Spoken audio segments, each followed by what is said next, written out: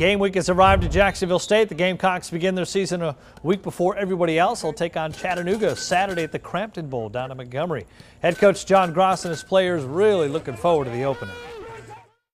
It's kind of see what your football team's about, what, what you're good at, what you got to improve on, because there's going to be a you know some of both of that. So I think it's a game that you always heard old coaches cliche, which is true. You make the most improvement from game one to game two. I'm not worried about you know the pressure. I mean, it comes. I've been doing it my whole career.